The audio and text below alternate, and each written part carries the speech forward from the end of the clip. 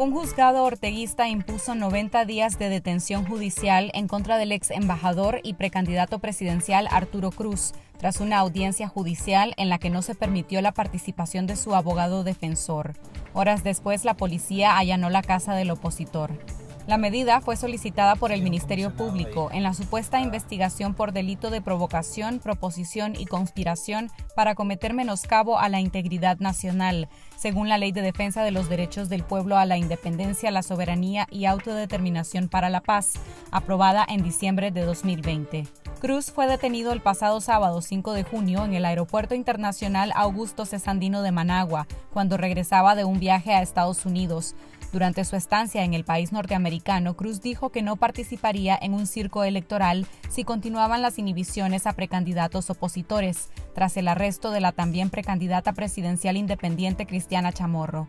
El precandidato Juan Sebastián Chamorro publicó un video del fuerte dispositivo policial que allanó la casa de Cruz, cuyo paradero es incierto.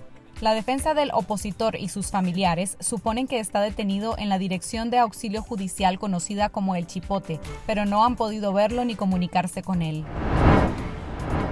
La Alianza Ciudadanos por la Libertad continuará con el mecanismo de selección de sus candidatos para las elecciones de noviembre, pese a las inhibiciones de facto de sus precandidatos, según la decisión de su Comité de Enlace Nacional. La presidenta del Partido Ciudadanos por la Libertad, Kitty Monterrey, informó la decisión de continuar en el proceso electoral con el precandidato que quede y aseguró que con quien resulte seleccionado enfrentarán a Daniel Ortega en noviembre. Y aunque nos duele lo que están haciendo, porque son personas que queremos y que realmente no quisiéramos que le sucediera a nadie más. No podemos negar que tenemos que seguir porque tenemos una responsabilidad con todos los nicaragüenses. Así que esta alianza va a continuar adelante y nosotros vamos a llegar hasta donde tengamos que llegar para enfrentarnos a Ortega y derrotarlo por la vía cívica. Los precandidatos Cristiana Chamorro Barrios y Arturo Cruz están arrestados e inhibidos de facto para el proceso electoral mientras los precandidatos Medardo Mairena, Félix Maradiaga, Juan Sebastián Chamorro y Miguel Mora están expuestos a las leyes inhibitorias del régimen Ortega Murillo por haber participado en las protestas de abril de 2018, que el gobierno califica como un intento fallido de golpe de Estado. Los precandidatos presidenciales Medardo Mairena y Félix Maradiaga llamaron a los nicaragüenses a la resistencia cívica y la unidad en torno a la Alianza Ciudadanos por la Libertad, ante la escalada de inhibiciones en contra de aspirantes presidenciales opositores por parte del régimen de Daniel Ortega. Durante una entrevista en el programa esta semana, Mairena y Maradiaga coincidieron en que la oposición no debe someterse a las leyes inhibitorias impuestas por el régimen. Yo quisiera insistir en la importancia de la desobediencia civil, de la resistencia ciudadana. Y precisamente estos actos de resistencia están haciendo que el régimen esté cometiendo errores. Es decir, estos actos de arbitrariedad, el régimen los está haciendo porque no les queda otra medida. Están sostenidos únicamente por el poder de las armas y eso tampoco ha callado a la población, como tampoco lo va a hacer este tipo de actos de judicialización de la política.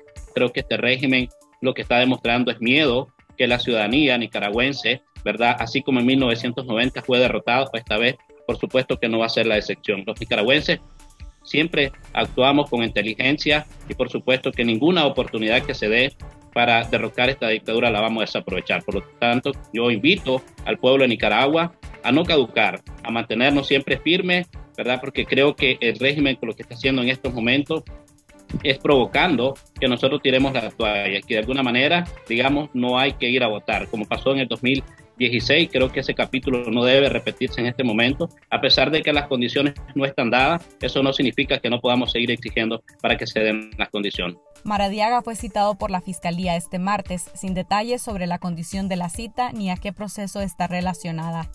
El precandidato afirma que está preparado para enfrentar cualquier situación ante la posibilidad de que sea detenido como Chamorro y Cruz.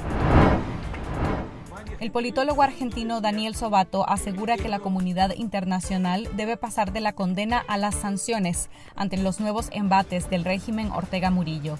En una entrevista en el programa esta semana, Sobato afirmó que la reacción de la comunidad internacional a la ola represiva del régimen ha sido tibia y que si no traza una línea roja a Daniel Ortega, lo que vamos a tener es otra Venezuela. Está bien pedir condiciones de un proceso electoral libre, pero lo que hay que hacer aquí es pasar también de la condena a las sanciones. Y me alegra saber, he visto acá hace apenas unos minutos, que el Estados Unidos ya está avanzando con un conjunto de sanciones precisamente para este, eh, contrarrestar este acto tremendamente arbitrario. Así que yo creo que ojalá este ejemplo sea seguido por otros países. Me gustaría ver más países de América Latina también condenando, denunciando y además de la, obviamente, de la alta comisionada de derechos humanos, de muchos de los grupos de derechos humanos, de la Comisión Interamericana de Derechos Humanos, me parece que sería muy importante ver una acción más decidida de parte del secretario general de la OEA y de la OEA como organización llamando a una reunión urgente del Consejo Permanente y aplicando la Carta Democrática Interamericana. El politólogo apuntó que la oposición tiene un dilema, que es la participación o no en un proceso electoral señalado de ilegítimo a nivel nacional e internacional. Sobato dijo que al participar en un proceso sin las condiciones mínimas, se corre el riesgo de legitimarlo. El secretario de Estado de los Estados Unidos, Anthony Blinken, anunció que el gobierno de su país usará todas las herramientas económicas y de otras maneras para intentar que Nicaragua se encamine a un mejor sendero. Durante una comparecencia ante el Comité de Relaciones Exteriores del Congreso, Blinken fue cuestionado por la representante Elvira Salazar sobre si Estados Unidos debería tener un tratado de libre comercio con una dictadura como la de Daniel Ortega. El Comité Bipartidista de Relaciones Exteriores condenó y rechazó las acciones que califican como un asalto de Ortega a la oposición nicaragüense, al referirse a las detenciones de los precandidatos opositores Cristiana Chamorro y Arturo Cruz. Los congresistas instaron a la administración del presidente Joe Biden a trabajar con sus socios de la comunidad internacional para avanzar rápidamente en la aplicación de medidas económicas específicas y consecuencias diplomáticas. En nuestro canal de YouTube Confidencial Nica les recomendamos ver el comentario de Carlos Fernando Chamorro, Golpe a las elecciones, Arturo Cruz y Cristiana Chamorro, rehenes de Ortega, sobre las inhibiciones de facto y cómo éstas fueron anunciadas por el régimen con la creación de leyes inhibitorias.